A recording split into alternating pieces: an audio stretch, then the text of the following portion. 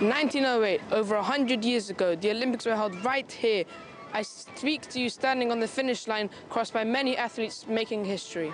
BBC News School Report gives 11 to 16 year olds in the UK the chance to make their own report and present it to a real audience. In March, schools take part in an annual news day, creating video, radio and text news reports to a 2pm deadline. Today we've been running a mini news day with Year 8 and they've been preparing their news reports in their departments.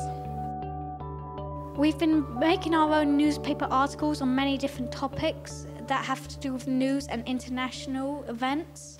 So this morning with my top set year 8 class we have been writing in a real life environment news stories as a practice for the BBC News Report Day which comes around in March. Um, I've been finding out a lot. I've been researching about the war in Afghanistan and I've learned a lot of different things that I didn't already know.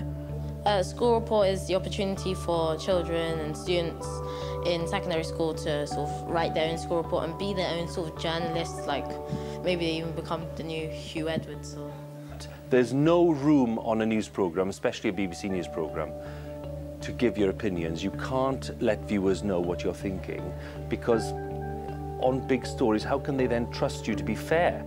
I would recommend this to other ARK schools because uh, it's really enriching for the pupils. They get a real sense of ownership over the new stories they produce.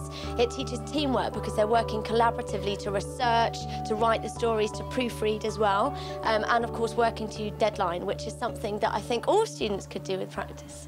Hi, I'm Josie Verghese. I'm the planning producer for BBC News School Report and a governor at Walworth Academy. And yes, that does mean I'm biased, but we would love all ARK schools to be part of the project and give the opportunity for 11 to 16 year olds to report on news and issues that matter to them. Other schools should get involved because it's a fabulous opportunity for students to learn how to become journalists and to work with some of the best people in the field from the BBC. As the Olympic broadcaster in 2012, the BBC wants every secondary school to get involved in becoming newsmakers in their community. In 2011, 800 schools took part in School Report and made their own news. So why don't you get involved in 2012 and have your own say? To register for free, go to bbc.co.uk forward slash school report.